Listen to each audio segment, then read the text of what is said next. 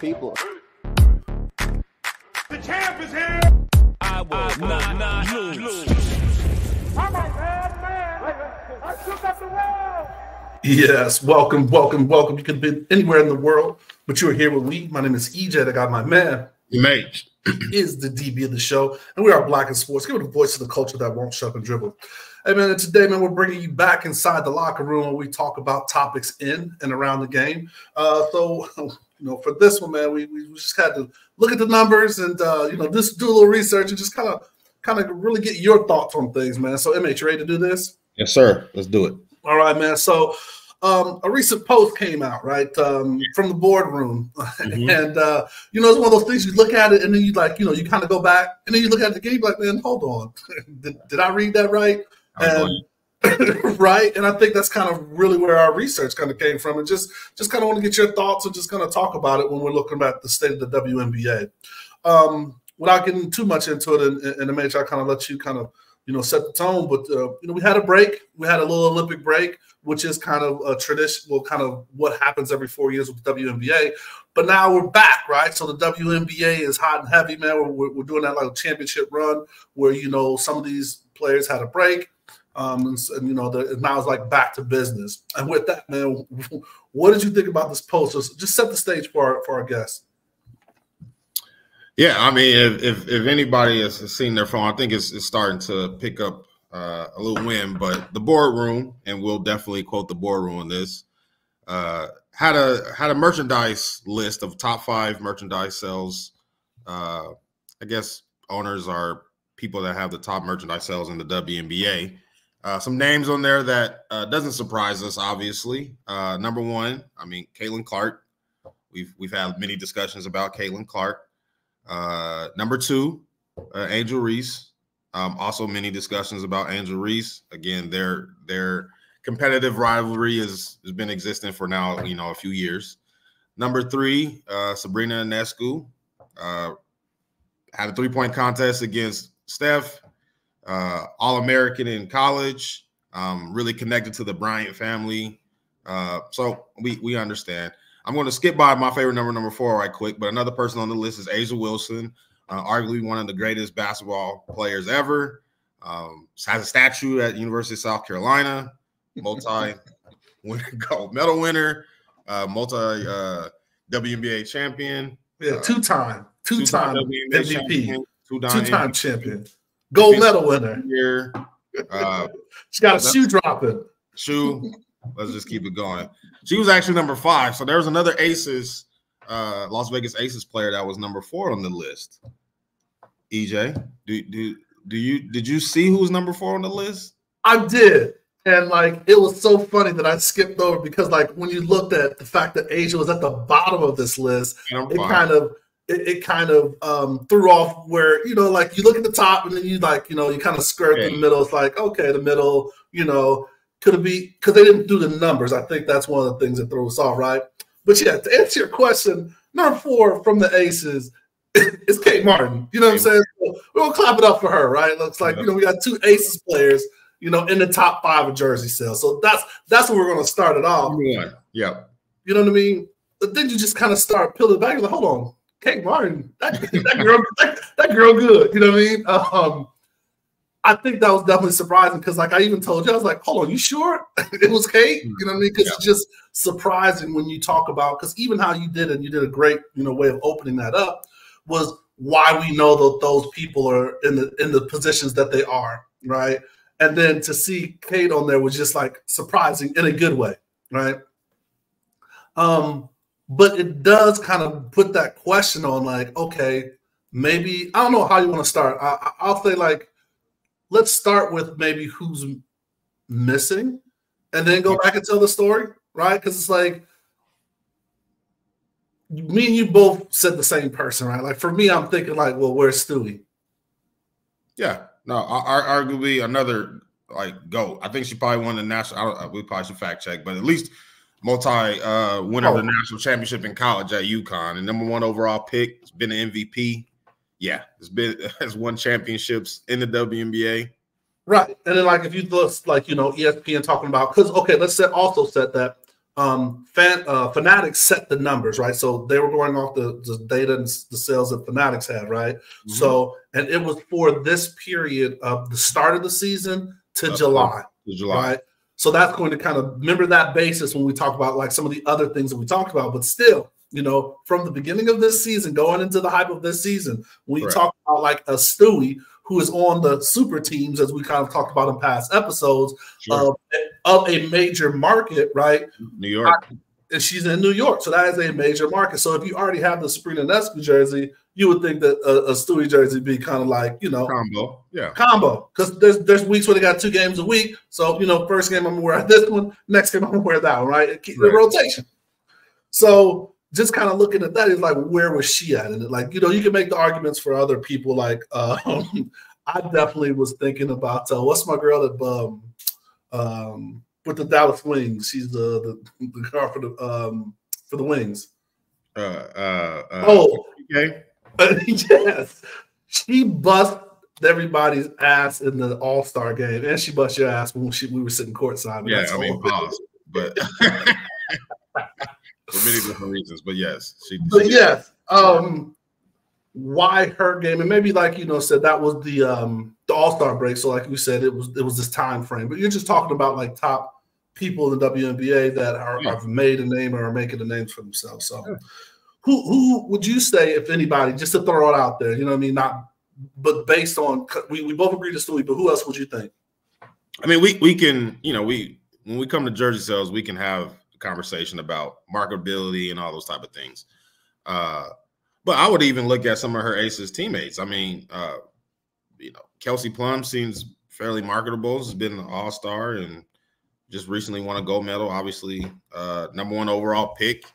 Um, had kind of kind of a celebrity type relationship. Like you, you would argue that that could be. You know, she broke some records, right? It's like she had the like, you know, her record just yeah. got broke, you know, by getting some. Yeah, absolutely. Yeah, I mean, like, so you can market that. I mean, I love Chelsea Gray, literally my Oh. favorite player. hundred percent. Uh, is, Shout out to the point guard. Shout out to the point guard. is a, is a fun player to watch and has won national or won WNBA championships with multiple franchises. So just on the team alone, and I don't want to leave out Jackie Young. Uh, Age who of also zero. the overall pick. Yeah. So like, uh, I mean, And there's- been lighting it up. Absolutely, right? Oh. Like her her game has just been lighting it up. Like, you know, she's really coming into her own past couple of years.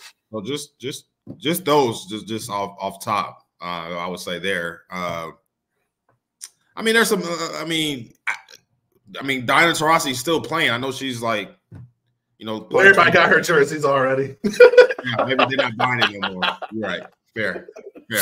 They're not buying it. anymore. But like, I mean, I mean, Skylar Diggins, I think she just mo- recently moved teams. Uh, she's been successful and always been popular in the game for a long time. So like, there's we can go down a list. And you know, Uh, there's another reason why I buy Skylar's jersey, but you know, that's a whole nother different different show. there's some, there's there. But yeah, like you know, there's uh there's there's multiple people that I think that, and this is no uh, shout out to to Kate and her fan base and uh you know her success. And, and maybe since in, in some of his like her story too a little bit you know? Big timer story, right? yeah, I like, mean, I he's mean, a you know four time you know senior or she was a second round draft pick uh played with uh Caitlin Clark at Iowa. That that team um obviously had a, a- a large fan base and had a lot of success in college. Um and she was a second round pick was was at the draft supporting her teammate and end up getting drafted. So that's kind of cool. Great story. Yeah, and you know, and she's she plays defense and is a good teammate and uh, can shoot. So So do you think that it's kind of in that pairing, right? Because this is beginning of the season, like you know, not knowing whether she was going to play, where she, she's going to make the team, because you know how it goes with the WNBA draft. You got people in the first round that get a cut from teams. It's just like wow, you know what I mean? Just because um, you know you get that 144 number, right? There's only a limited amount of spaces, right, and some of these people that are playing uh, don't like to leave the game, so there's there's not plenty of space, uh, roster spots. But just kind of like you know the Angel Reese and the Caitlin Clark, their dynamic, you know, battle, Batman, Robin, or villain, evil, whatever you want to say, has helped rise both of their narrative, right? Like it's the the um, the Magic Bird, you know, Yeah. those kind of things, Mhm. and maybe Caitlin's and, and, and um and Kate Martin's story from just that rise of what they did together as a team. And then, like, if you know, if you are an Iowa fan, you're a fan of both of them because when when they played here, there were just as many jerseys or people from Iowa cheering both of them on. Yeah. Well, you could kind of feel that in the atmosphere. So that's part of it too, right? And like that that fan base is just, you know, just grown so big during their whole kind of college career. No, I, I I completely agree. Um, and uh, it definitely was probably the top story in all of sports um, for a good period of time. Uh, it- it is interesting as you know, usually as a sports society in this country, we value championships. So as great as um, that team was and as good as the story was, um, and they didn't win any championships. Angel Reese is a national champion. You know what I mean? Um, right. and so, and, and I can- everybody, everybody on this list is a national champion, right? not Caitlin. No, other than the Other than, two, yeah, yeah. Other than those, every- everybody else, Yeah. yes, right, yeah. Well, I don't know if Sabrina ever won a national championship either, actually.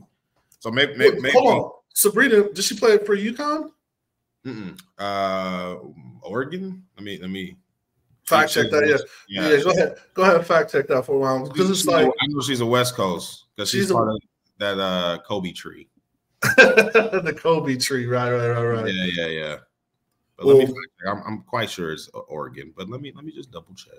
Yeah, absolutely. So just kind of like looking, basing through those kind of narratives and trying to figure out like what what helps that popularity and helps them keeps them in the news, right? Because like even though Angel and Oregon. Caitlin, it is Oregon, Caitlin and um and Angel have that kind of that dynamic brought they um drafted together, they battled, you know, whatever in college. But Angel Reese is really starting to make her own because while Caitlin's breaking WNBA records, so was Angel, right?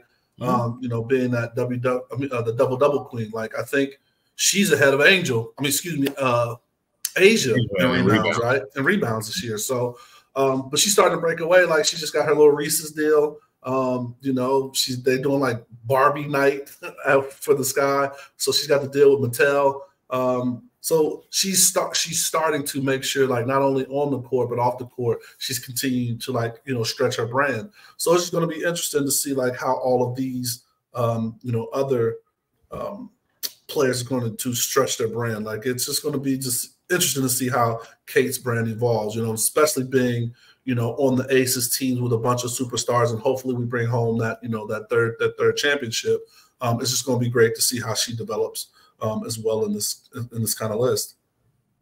I do think winning matters though, and, and, Oh. and, and, and good thing for Kate Martin. Whether her jerseys are selling more are at to to the up to July, where we're selling more than Angel Wilson. Um, you know, the Aces somehow get into that dynasty discussion with the Houston Comets and uh, Minnesota uh, Lynx and all their championships they won. If the Aces win three in a row and she's on that team, and she's benefiting from the greatness of Angel Wilson, uh, A'ja Wilson, then yeah, I mean she she can stay up there. But if if they're not winning, like you know, we we we like winners as as a country. We we we truly like winners. So Hundred percent. you gotta you gotta win to to stay up there. And it'd be interesting to see, right? Like, so this was done till July. Let's see, like, you know, after the finish of the season, right? After Like, Olympics, especially after, after the Olympics, and then like that playoff push, right? Because I think that also helps, right? Because like you said, you like winners. So now we're in the playoff. I need to go ahead and cop that other jersey, right? Or Right. you know, if there's something else that kind of comes out to see how, because there's going to be some people on this list that are not going to be um, in that playoff push, or at least to, to that championship push. So that's definitely going to be interesting. So now, just kind of your thoughts from comparison to the number one on this list to the number five on this list. Um, the MVP race, you know, like stats and polls and things, you know, have A'ja, you know, pretty much leading that race. Um, is there anything that Caitlin can do because she's come back with fire after this break um, to, to to like take over or at least make it a little closer than it was? no, the answer is no, a definitive no. It's a, it's a definitive no. And I and I actually I really enjoy watching Caitlin Clark play. I really do. But Uh-huh. as a basketball fan, watching A'ja Wilson play basketball is complete dominance. Like it, unlike really anything that I've seen in, in a while. Uh, Uh-huh. There's nothing from a real just. There's nothing she can't do. She's the best defender on the court. She can make passes if she needs to. Every time they need a bucket, she scores. If she shoots her little mid-range shot, it's crazy if she even misses it. She'll uh, she now she's shooting threes. Like there's really nothing that you can. So no, and and that's uh, with all due respect that's not even a question. Now, rookie of the year, yeah, she had that. It's a good story Once you know her team continues to grow and everybody kind of you know she figures out angles and things like that in, in the in the in the W. Then maybe we have that discussion next year or the year after. But as of right now, like they ain't, they ain't no touching A'ja Wilson. There it is. It's a, it's a wrap. it's a wrap. She's go.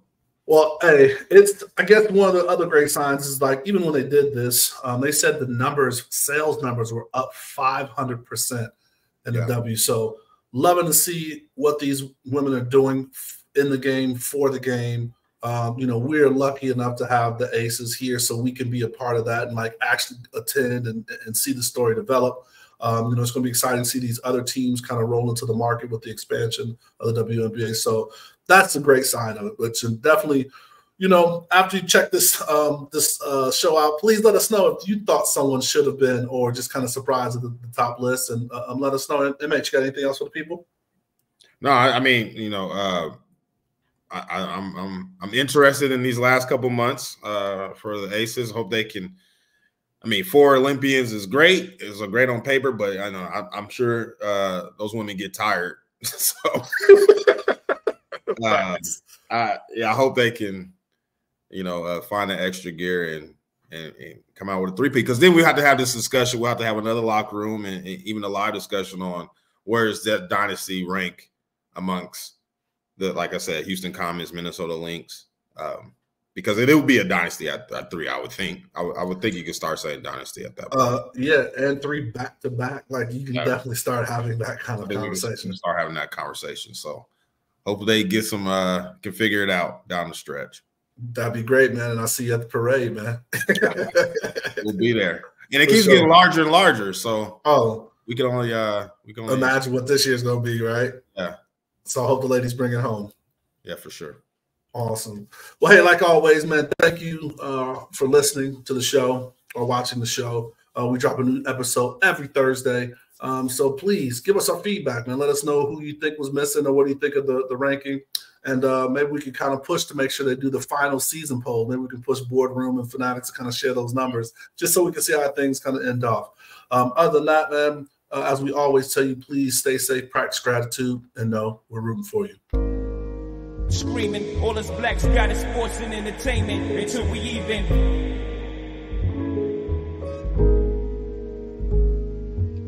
Assuming I'm rooting for everybody that's black. Yeah. Uh huh. Yeah. Assuming I'm rooting for everybody that's black. Yo, yo, yo. About two racks on handmade new rags. Assuming I'm rooting for everybody that's black. That's everybody from sports to college class to rap.